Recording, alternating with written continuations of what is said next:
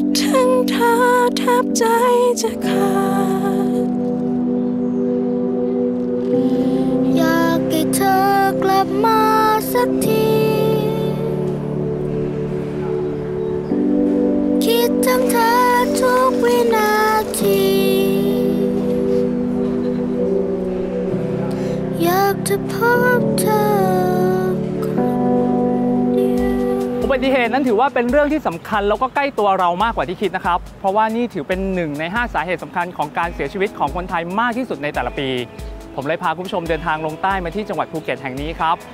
จังหวัดภูเก็ตนั้นถือว่าเป็นหนึ่งในจังหวัดนำร่องที่สามารถลดปริมาณการเกิดอุบัติเหตุ และความสูญเสียบนท้องถนนได้กว่า 50%ตลอดระยะเวลา 4 ปีที่ผ่านมา พวกเขามีเครื่องมือที่ชื่อว่ากลไกแนวราบครับ